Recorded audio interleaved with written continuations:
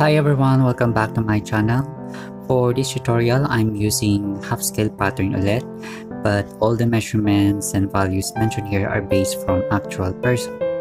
Kailangan natin yung front and back bodies pattern, and also yung ating pattern paper. So yung next natin gagawin is to draw a vertical line dun sa may gilid ng ating pattern paper, and then i-line up natin yung front bodies dun sa vertical line and then trace mo lang yung neckline and shoulder only. And then yung sa waistline mark natin yan. Then unpin. So square out from the waist mark. This will be your waistline guide. And from waistline mark 8 inches. And then square out and this will be your hip line. Back to the front bodies. From the corner of the armhole or the underarm mark 1 inch or 2 inches then connect to the bust point.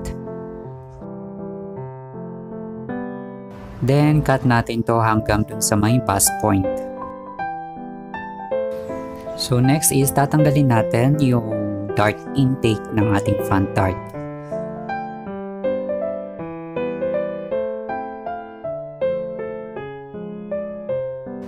And then, pin natin ulit yung ating front bodies. So, the next step is to pull the waistline corner hanggang sa ma-reach niya yung waistline guide.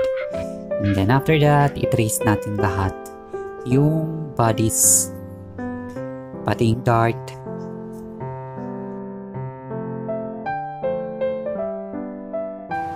Then, kumplituhin lang natin yung lines, or trace lines ng pattern.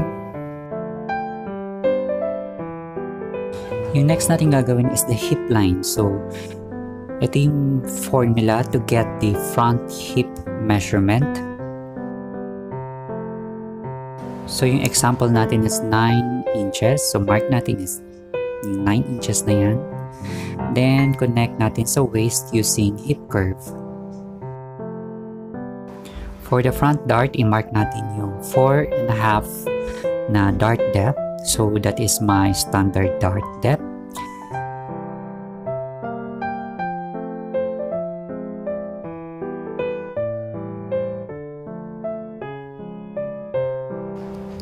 From the bust point, mark down tayo ng half inch and this will be your new position ng ating dart tip.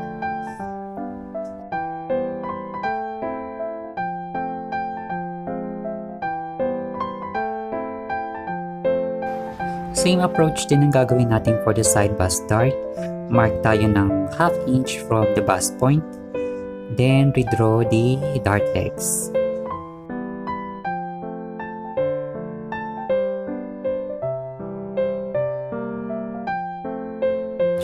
For the back torso, we need your back bodies and position lang natin yung waist ng bodies dun sa waist guideline na ginawa natin and trace lahat yung ating pattern pati yung darts pati yung darts sa my shoulder.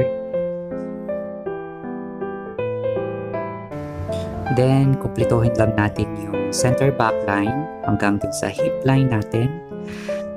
Then yung the rest na tinrace natin yung dart For the back hip measurement, ito yung formula natin.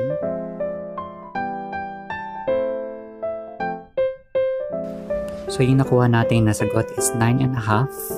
So i-mark natin yung 9 and a half inches. And then connect natin sa my waist using hip curve. For the back dart, ang standard na dart depth natin is 5 and 6 8 Then, after marking, connect natin dun sa legs ng back dart natin.